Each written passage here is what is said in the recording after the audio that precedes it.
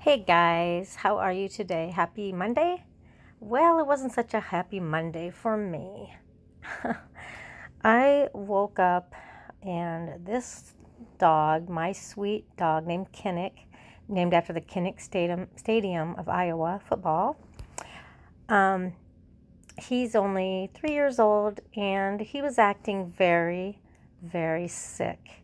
He would not eat, he would not drink, and he kept drooling and drooling. I knew he was really sick. So he loves to play toys. He wanted, I bought him a new toy, um, oh, a little while ago, and I just gave it to him.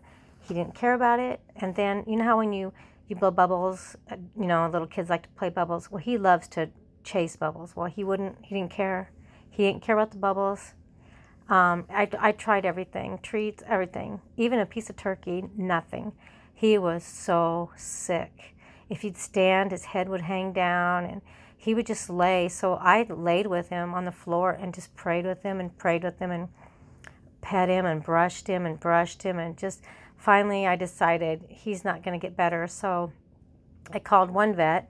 They couldn't get him in until Thursday and I'm like, no way. So I called another vet and um, they said you could come in we had to wait in the parking lot for like 90 minutes because that parking lot was full of pets.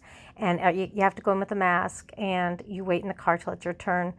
Um, thankfully i was with my sister and she has air in her car. Mine does not have air. So thank god this poor dog didn't have to sit out and without air. So he was just getting sicker and sicker. I kept having to wipe drool off his mouth and um, finally they let us come in and to be honest, I have no idea what he must have got into something. So I, you know, told her, and she said, Well, the minimum we can do today is give him a shot, um, a syringe of uh, uh, something for anti nausea because she could tell he was really nauseous. And she said, If you want to do that, and then just wait till tomorrow, see how he's feeling.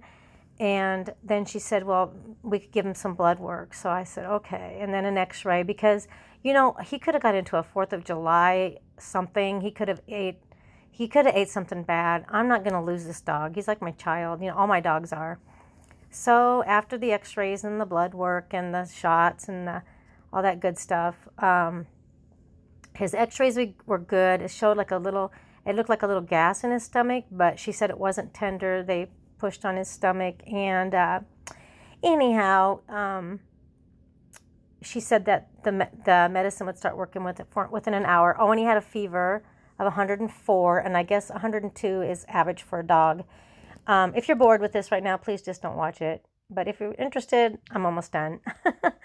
um, so we, we got him some antibiotics. Um, she sent home some food, that Royal Canin, that really good stuff, and uh, some probiotics to sprinkle on it to get him to eat it because the dogs really like the taste.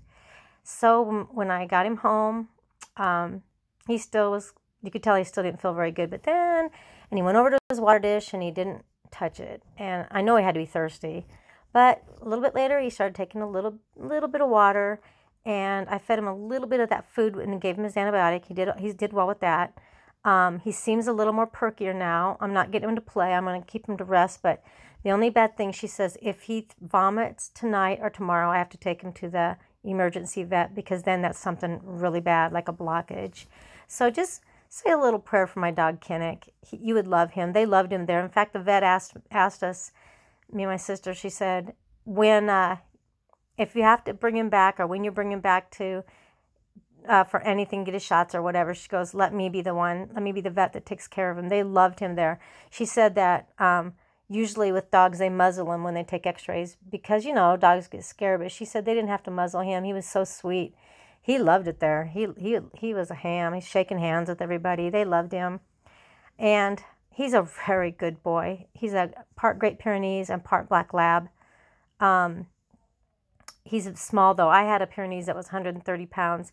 He's only he was only 74 pounds which but he's young and active. So, anyway, so far, so good, guys. He's doing good. He says to tell you hello. Have a great night, guys. Bye bye.